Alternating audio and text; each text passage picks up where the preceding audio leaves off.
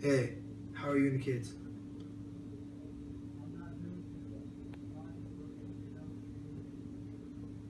Yeah, I'm not.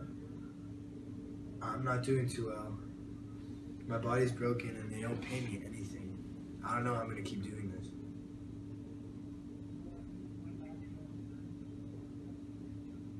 No, I cannot come back home.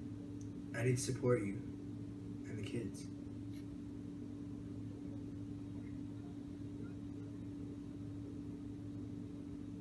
Okay, don't worry.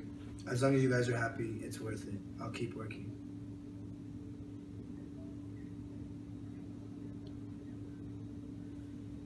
Yeah. I need to get some sleep. I have to get back to the fields at 3 a.m. Good night. I love you.